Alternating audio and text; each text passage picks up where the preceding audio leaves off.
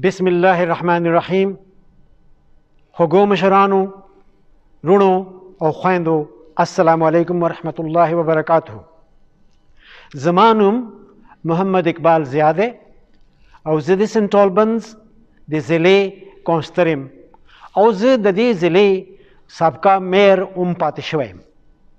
نن زه د بیچوډ ویکسینیشن سنټر کې موجود یم او نن ما د کووډ 19 ویکسینیشن دویم انجکشن ولګولو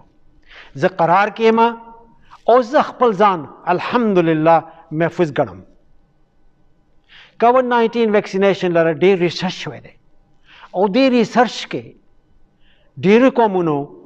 او ډیرو کسانو حصه واغسته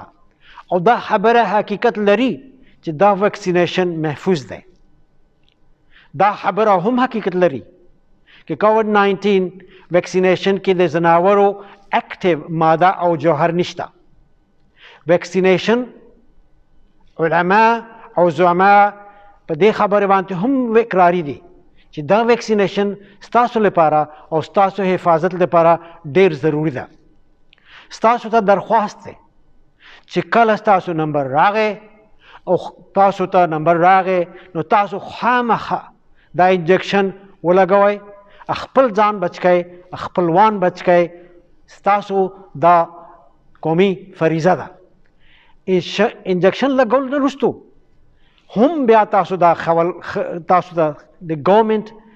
د حکومتي ګاید لاین باندې هدایات باندې عمل کول ضروری دي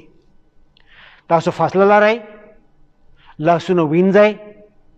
او ماسک واچوئ ستاسو دا تاسو لپاره او ستاسو خپل خپلوانو لپاره دا خبره ضروری ده مهرباني شکریا